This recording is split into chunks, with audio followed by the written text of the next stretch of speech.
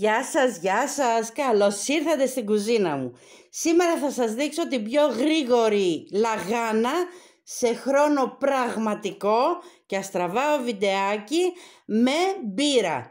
Η ιδέα δεν είναι δική μου, είναι του Γιώργου του Ζόλη, του φίλου μου από τις μαγειρικές απολαύσεις, ο οποίος φέτος έφτιαξε λαγάνα με σόδα, την οποία έχει ανεβάσει στο κανάλι του ή με μπύρα όπως κουβεντιάζαμε ένα βράδυ.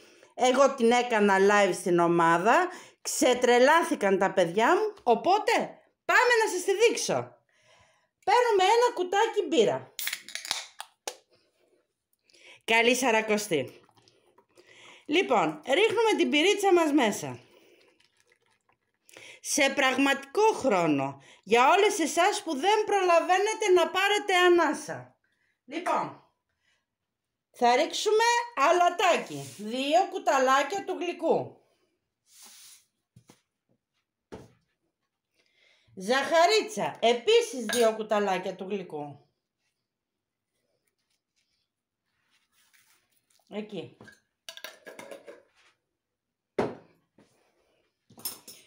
Θα ρίξω ταχίνι με μέλι. Εάν δεν το θέλετε, δεν σας αρέσει, μία κουταλιά καλή, δεν πειράζει, ας το παραλείψετε. Δεν έχω κανένα πρόβλημα. Μπορείτε να ρίξετε σουσάμι καβουρδισμένο μέσα. Ό,τι αρέσει σε εσάς. Εμένα μου αρέσει να βάζω το ταχίνι.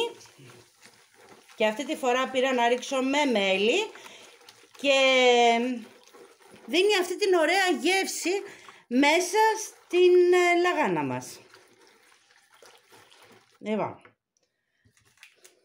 Λίγα τα υλικά, απλά τα υλικά, χωρίς αναμονή, χωρίς μίξερ, κατευθείαν για ψήσιμο. Θα ρίξω ένα φακελάκι μπέικιν.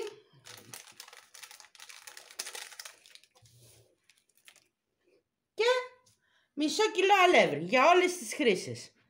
Θα ρίξω λίγο στην αρχή, το έχω ζυγισμένο. Θα ανακατέψω εδώ με τη σπάτουλα. Η λαγάνα συγκεκριμένη είναι νηστίσιμη, έτσι. Η μαγιά της μπύρας βοηθάει. Την κλασική, την παραδοσιακή σας την έδειξα δύο μέρες πριν. Αυτή είναι λαγάνα της στιγμής. Την φτιάχνετε, την ψήνετε και τρώει η οικογένεια. Λοιπόν και τώρα θα βάλουμε χεράκι κλασικά, όπως κάνω πάντα. Μ' αρέσει να πιάνω τη ζύμη. Και αυτό ήταν. Την έκανα live στην ομάδα, παιδιά, ξετρελάθηκαν, ξετρελάθηκαν. Τα δικά μου τα παιδιά, μάνα μου λέει, τι ωραία λαγάνα. Τη φάγανε ζεστή, ζεστή τραγανή όπως ήταν. Εντάξει, θεωρώ ότι είναι πιο εύκολη. Δεν περιμένεις και είναι και νηστίζιμη και τη φτιάχνεις όποτε θέλεις.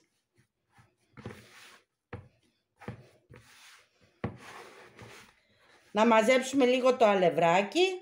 Βλέπετε, δεν χρειάζεται μίξερ. Εδώ, ούτε πολύ πέδεμα. Ούτε να την αφήνεις ώρες να φουσκώσεις στο ψυγείο όλη νύχτα. Είδα διάφορες συνταγές για λαγάνα, παιδιά. Αν δεν κάνεις την παραδοσιακή τη λαγάνα, εντάξει. Η επόμενη λύση είναι αυτή και ξαναλέω, η ιδέα ήταν του Γιώργου του Ζόλη, του φίλου μου. Καλό είναι να αναφέρουμε που βλέπουμε τις συνταγές, γιατί ο κάθε άνθρωπος αφιερώνει το χρόνο του, τον κόπο του, τη σκέψη του, για να βγάλει μία συνταγή.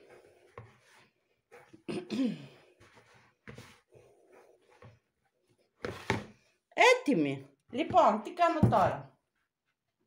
Έχω εδώ δίπλα μου λίγο αλευράκι. Θα στρώσω το ζυμαράκι μου, όπως σας έχω δείξει. Εκεί.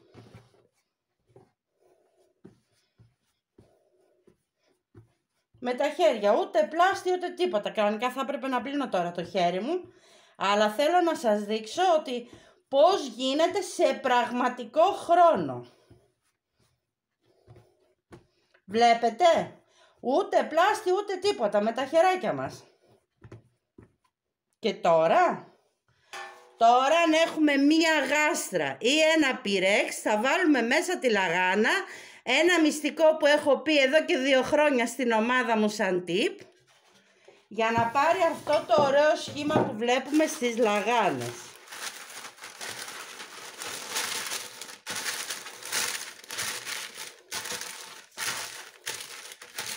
Στρώνουμε τη λαδόκολα καλά μέσα στο, στο πυρέξι στη γάστρα μας.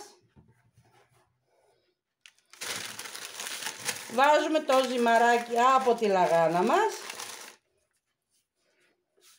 Να καθαρίσω και τα χεράκια μου. Νιώθω σαν να κάνω live αυτή τη στιγμή, δεν έχω κόψει το βιντεάκι καθόλου. Είπα και πάλι, θέλω να σας δείξω, χωρίς αναμονή, πώς κάνουμε τη λαβάνα. Και άνετα μπορείτε να χρησιμοποιήσετε και μπύρα χωρίς αλκοόλ, έτσι. Εννοείται αυτό.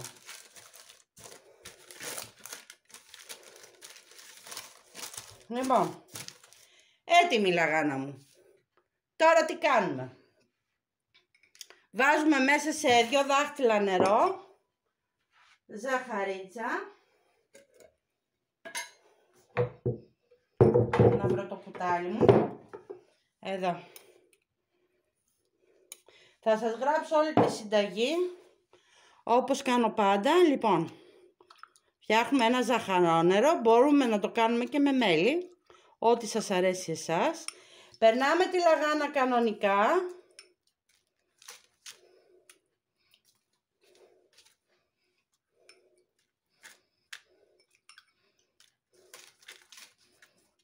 Δεν αφήνουμε να φουσκώσει, δεν κάνουμε τίποτα.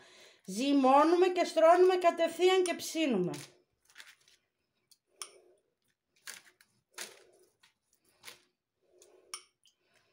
Τσάκα τσάκα. Λοιπόν, για να δω αν φαίνεται καθαρά, μια χαρά. Τώρα, τώρα θα ρίξουμε το, σουσουμάκι, το σουσαμάκι. Άκου το σουσουμάκι. Μπόλικο. Είπα, μπορείτε να το παραλείψετε αν δεν θέλετε να ρίξετε μέσα ταχίνι. Μπορείτε να ρίξετε σουσάμι. Εάν δεν θέλετε να την κάνετε νηστίσιμη, μπορείτε να ρίξετε λαδάκι. Ό,τι θέλετε εσείς. Εγώ σας δείχνω την απλή εκδοχή, τη γρήγορη για νηστίσιμη. Και τώρα, δαχτυλάκια. Εκεί.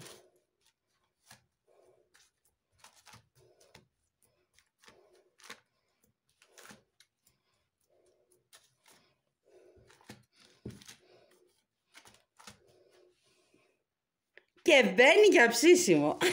Έτοιμη. Πιο πολύ μίλαγα. Λοιπόν, τη βάζουμε γύρω στα 25 λεπτά, στους 200 βαθμούς και έρχομαι. Εννοείται να σας τη δείξω ψημένη.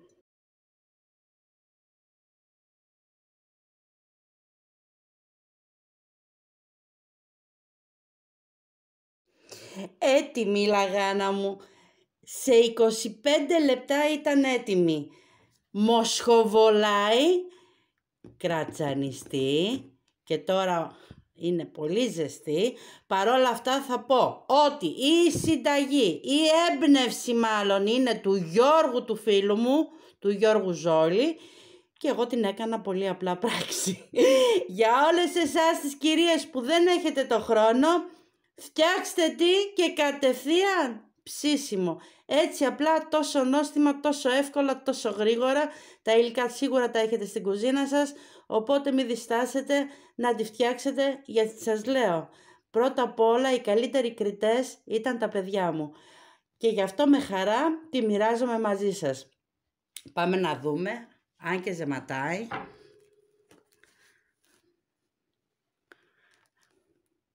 Βλέπετε; Φανταστική έγινε. Και από κάτω, αυτό είναι το αλευράκι, ψήθηκε, έγινε εξαιρετική. Κάντε γραφούλα στο κανάλι για να, να μπορείτε να βλέπετε τα βιντεάκια που ανεβάζω και φτιάχνω για την οικογένειά μου και για όλους εσάς με πολύ πολύ αγάπη. Φιλιά μέχρι την επόμενη φορά και σας εύχομαι καλή σαρακοστή και καλή επιτυχία σε όσες φτιάξετε τη λαγάνα με μπύρα. Γεια σας!